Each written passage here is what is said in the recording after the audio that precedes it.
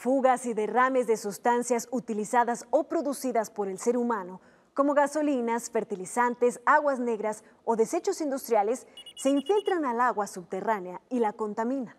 En la Universidad Autónoma del Estado de México, investigadoras tienen un proyecto sobre las aguas del lago de Texcoco.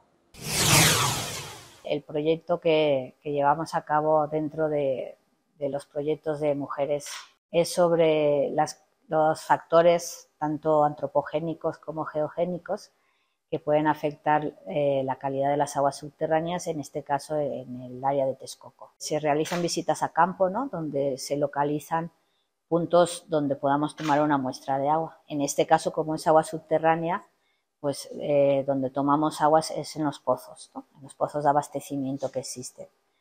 Ya una vez tomada esa muestra de agua, bajo pues, toda una serie de, requisitos, ¿no? en el sentido de preservar la calidad de esa agua, pues la transportamos aquí al laboratorio. La idea de este proyecto es, eh, con base al conocimiento que se tenga de la, composición química de las aguas subterráneas, en esta zona de Texcoco, pues queremos identificar si existen algunos elementos químicos que puedan ser en algún momento dado pues tóxicos eh, para lo que es la salud humana, ¿no? porque gran parte del agua subterránea que se extrae de esa zona del acuífero de Texcoco se utiliza para abastecimiento humano. En la ciencia eh, sí hay que admitir que predomina el género masculino. Lo que busco como significado de ser una mujer en la ciencia es señalar a, las generaciones futuras, ¿no? a los que vienen, a los que pues, como universidad estamos formando, que vean que sí es posible.